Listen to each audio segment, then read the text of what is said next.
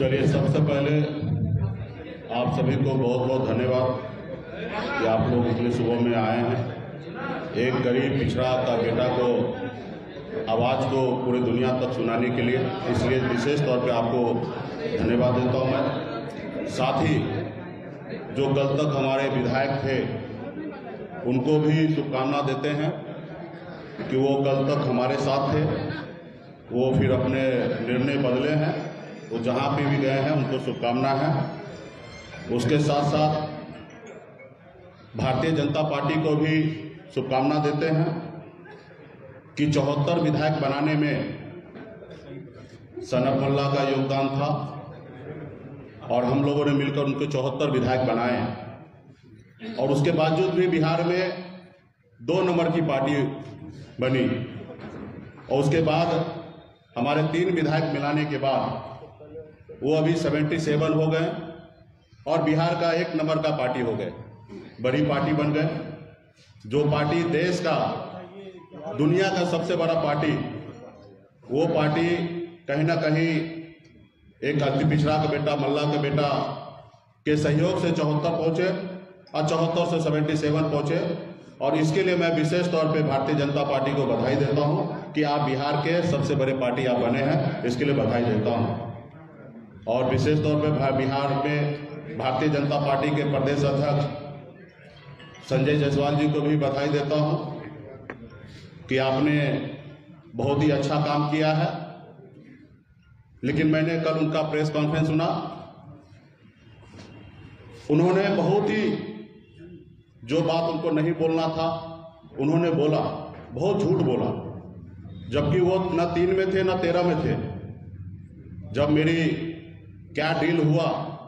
ये डील सिर्फ़ सिर्फ़ दो लोगों को पता है। एक सनब मल्ला को पता है और एक देश के गृह मंत्री श्री अमित शाह जी को भी पता है कि बंद कमरे में क्या डील हुआ। यहाँ तक कमरे के बाहर भी रहने का सौभाग्य संजय जायसवाल जी को प्राप्त नहीं हुआ था कि वो कमरे के बाहर भी खड़ा होकर कान लगा के सुने और बिहार में किसी भी नेता को ये सौभाग्य प्राप्त नहीं हुआ। हाँ कुछ जानकारी नित्यानंद राय जी को या हमारे मंगल पांडे जी को थे, कि किस तरीके से दिल्ली में क्या बात हो रहा है, ये जानकारी उनको थे। तो इसलिए वो क्या डील हुआ, इतना झूठ फैलाने का आवश्यकता उनको नहीं था। उन्होंने तो विनर बन गया। तीन विधायक को लेकर बिहार का सबसे बड़ा पार्टी बन ही गया तो उनको झूठ बोलने की क्या आवश्यकता है? तो इसके लिए मैं भारतीय जनता पार्टी को भी शुभकामना देता हूँ। हमारे विधायक जो गए हैं, उनको भी शुभकामना देता हूँ। और मैं आपको बता दूँ कि मैं 18 साल की उम्र से मैं संघर्ष कर रहा हूँ। अपनी ज़िंदगी को बेहतर बनाने के लिए मैं मेहनत कर रहा था, मजदूरी कर रहा था। एक दिन में तीस रुपया मैं कमाता था। महीने का तीस, नौ सौ रुपया महीने का मैं कमाता था। और ये हम अपनी ज़िंदगी में संघर्ष करके मुंबई जैसे शहर में, जहाँ पे रहने के लिए घर नहीं था जहाँ पे अपने आप को फ्रेश होने के लिए जगह नहीं था, पब्लिक शौचालय में जाना पड़ता था। ऐसी ज़िंदगी मैंने जिया है। फुटपाथ पे मैंने खाना खाया है। फुटपाथ पे अपनी ज़िंदगी को बिताया है। और वहीं से हमने संघर्ष करके मुंबई जैसे शहर में भी अपने एक अच्छा मुकाम मैंने बनाया। और उसके बाद बिहार में मैं आया। अपने लोगों का हक अधिकार के लिए मैंने देखा कि हज़ारों समस्या है। जहाँ हज़ारों समस्या वहीं पे मेरा भी जन्म हुआ था। लेकिन मैंने सोचा कि हमारे अपने लोगों के लिए बेहतर कुछ करे।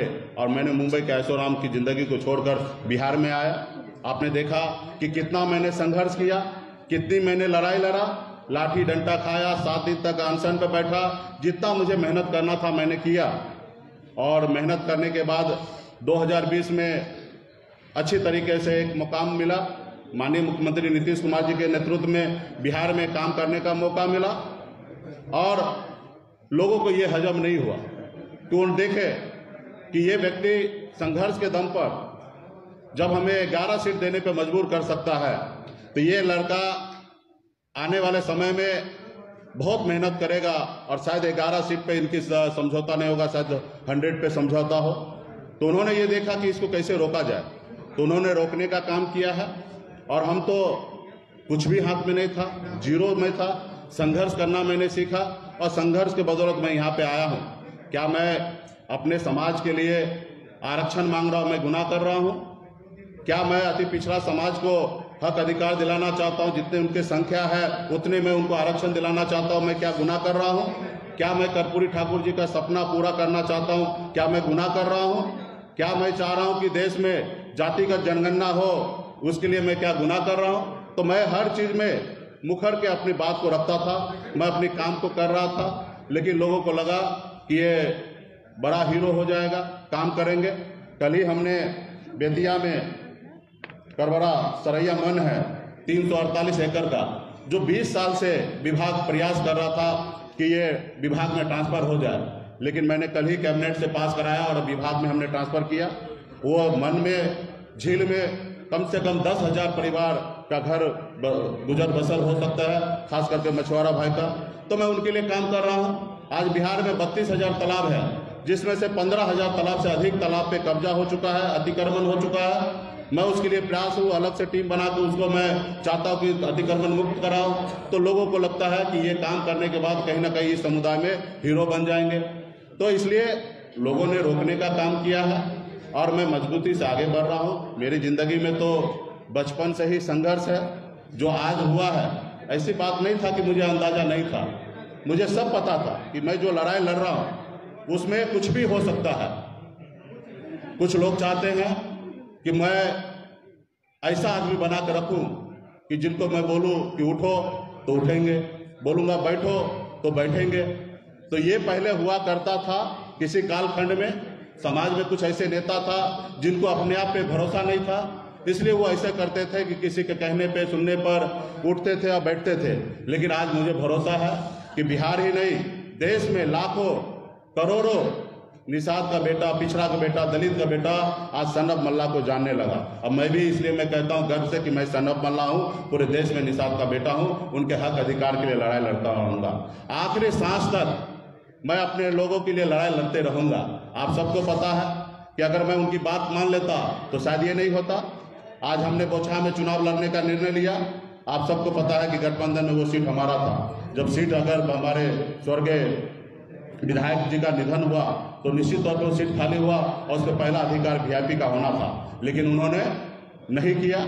उन्होंने अपने मन से, अपने प्रत्याशी का नाम का घोषणा कर दिया।